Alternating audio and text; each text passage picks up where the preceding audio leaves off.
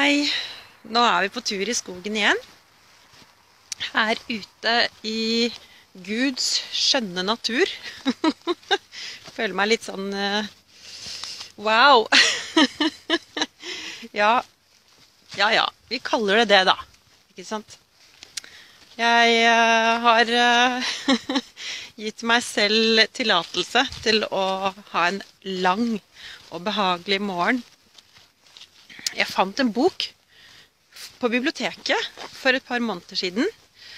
Eh, som har ligget eh, Bare coveret på boka var så vakker at jeg, jeg bare kjente at eh, den må jeg ha med meg hjem.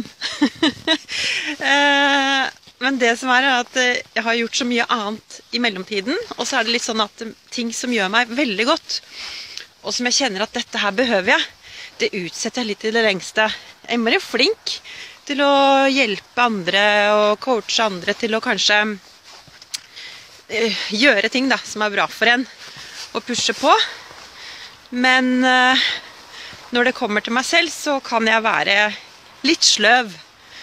Uh, og så er det en annen ting at jeg Det skjer så mye i livet mitt. Det skjer så mye at jeg rekker liksom ikke helt å lande skikkelig mellom jobb og søvn. Så det å hente seg inn, det kan være en liten utfordring. Åh, det er varmt. Jeg må ta av meg lua. Yes. Sjekke meg. Er det bra? Ja, drit i det. Jeg er så lei av filteret. Jeg er så lei av å ha drevet så å si hele livet mitt og sjekka meg i speilet. Jeg var i en relasjon med en mann som drev og kommenterte at uh, nå ligger håret ditt i feil uh, vinkel. Og det var jo kjempesunt for en som har vokst opp i en familie hvor det viktigste er at man er pen og jobber som modell. Uh, det var i hvert fall ikke noe fordel for meg, for å si det sånn, å gjøre det. Eller å være noen av delene. Så det. Da var det ute av skapet. Endelig så kan jeg prate om det jeg egentlig tenkte jeg skulle prate om. Det var denne boken. Den har jeg dratt av fram og tilbake på toget, på kurs i Stockholm. Den har ligget hjemme. Jeg leste ut de andre bøkene jeg tok med meg hjem, som jeg måtte ha i forhold til jobb. Men denne inspirasjonsboken for min egen del, den lå der. Så det jeg gjorde da, var å dra tilbake på biblioteket, levere inn alle disse bøkene, de andre jobbebøkene, og så tok jeg med meg den tilbake. Og i dag så la jeg den i sengen sammen med meg og bare tok frem lesebrillene og fordypet meg og ga meg god tid til å lande. Og vet du hva? Det er som å lese meg selv. Det er helt utrolig. Dette er en bok skrevet av Malin Berghagen, datteren til Lillbabs, og hennes reise eh, i forhold til yoga. Hvordan yoga er ikke noe du gjør, men yoga er Altså Yoga er livet ditt, rett og slett. Og det er sånn det er for meg. Yoga er ikke disse stillingene eller det å bli flink til å stå på hodet eller Jeg følger noen folk på Instagram som jeg kjenner at det her orker jeg ikke. Det er så akrobatisk. Men jeg har ikke sletta det, for jeg er litt nysgjerrig, da. Men, men jeg orker ikke. For det handler ikke Jeg er ikke der, da hvor jeg har lyst til å bekjempe tyngdekraften lenger. Fordi ja, jeg har vel kommet til et sted i livet da, hvor ikke det er så veldig viktig å drive med det lenger. Men det jeg skal si om Malin, da, det er at hun skriver om sitt eh, absolutte mørkeste punkt. da. Og da ligger hun på gulvet og gråter i fortvilelse og er helt knust og vet ikke hvor hun skal gjøre av seg. Og dette her er pga. da livet hun har levd. ikke sant? At hun har lært at hun skal sette seg selv til side. At hun har lært at uh, det er ikke så viktig hva du føler, så lenge de rundt deg ikke blir redd eller blir såret. At det er viktig å holde fasaden, sånn at uh, man skal ta hensyn da, til de rundt seg. Så ikke de blir lei seg. ikke sant? Og det kan jeg kjenne meg igjen i, fordi jeg har vært veldig flink til å I hvert fall i barneårene, da.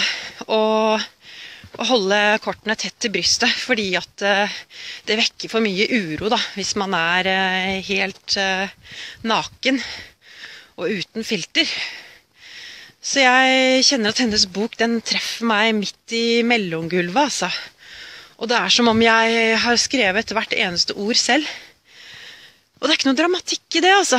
Det er bare en takknemlighet som jeg har lyst til å rette til uh, Malin. da. At hun har gjort dette her arbeidet. At hun har satt sammen en helt fantastisk uh, bok. Bildene setter deg jo i en tilstand som er uh, åh, ja drømme, drømmesituasjon. Og det får frem minner i meg fra min reise, da. Fra Norge til Oneness University i India, som hun også dro til for å rense ut sin gamle ja, gamle rester fra et beteende som ikke gir vekst lenger. Og det bare slo meg at uh, til og med det har jeg forsøkt å holde skjult. Det at jeg har vært ved Vannes University i India fordi at det spirituelt kanskje ikke passer inn med den situasjonen jeg er i nå, ikke sant. Og det er jo bare tull.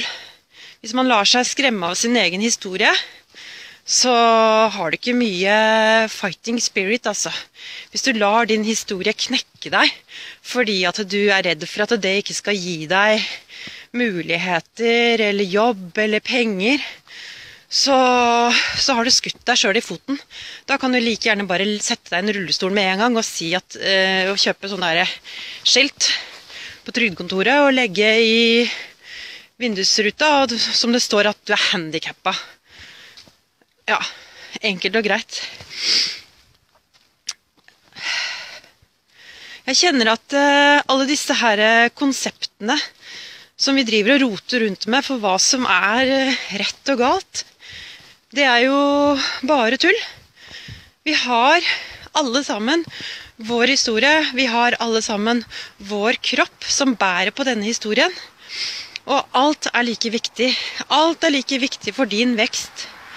Alt er like viktig for at du skal forstå deg selv. Og alt er like viktig for at du skal kunne bli glad i deg selv. Da. Og elske deg selv. Eh, og det må du til syvende og sist akseptere at du er bra. Du er bra. Det er ikke noe å endre. Ja vel, så gjør du ting som kanskje ikke er så veldig produktivt akkurat nå. Eller du er inne på et spor som ikke gir mening. Men det er vel kanskje det du skal lære, da. At dette sporet gir meg ikke mening. Akkurat som at jeg dro til India i 2012. Ikke bare én, men to ganger for å ta tak i livet mitt og for å få kontakt med det som jeg den gang manglet integritet.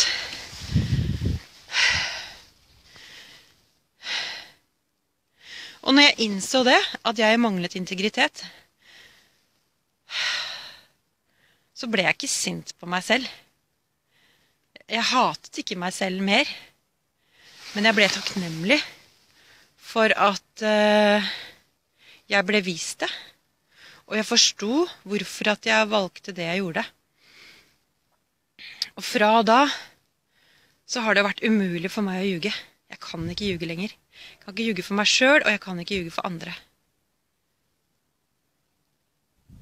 Og det er jeg veldig takknemlig for, og det gjør at jeg ikke er så opphengt i lenger i hva som er rett og galt. At det ikke er så opphengt i lenger om det finnes en dypere mening med livet. Eller om det finnes et liv etter døden. eller om det finnes liv på andre planeter. Fordi jeg har dårlig nok tid med å få de 24 timene her til å liksom strekke til, liksom. Jeg har nok som skjer i livet mitt hver eneste dag, og nok av mennesker rundt meg hele tiden som jeg er nysgjerrig på, og som jeg har lyst til å bli bedre kjent med. Så jeg har ikke tid, og ikke noe behov, og ikke noe lyst. Og det er jeg veldig takknemlig for. Det er vel kanskje den største gaven jeg har fått på min reise. Mm. Men tilbake til dette her med den boken. Jeg har lyst til å invitere deg til å tilbringe helgen i det beste selskapet du kan tenke deg, nemlig deg selv. Ta fram en god bok eller en film, eller kjøp deg blomster. By deg selv ut på middag, eller ta deg selv med på et spa. Gjør gode ting for deg selv. Fordi at du fortjener litt oppmerksomhet akkurat nå. Fordi at du er som du er. Og det blir ikke noe bedre av at du tror at ja, men det blir så mye bedre hvis jeg venter til lønning, eller det blir bedre hvis jeg venter til den og den vil være med, eller noen ting. Nei. Du er din egen uh, livsledsager. Du er den viktigste personen i ditt liv. Så gjør det du trenger akkurat nå for å forsterke deg sjøl. Til å øke oppmerksomheten til ditt hjerte til å komme hjem. Og gjør det med god samvittighet. For det er ikke egoistisk, skjønner du. Det er egoistisk om du fortsetter å flykte unna deg sjøl. Det er det som er ego. Når du kommer hjem i deg selv, og du tar imot deg selv, så er den største gaven til deg selv og til hele verden. Vi trenger at du gjør det. Mm. Og med det så har jeg bare lyst til å gi deg en liten hilsen fra mitt hjerte til ditt.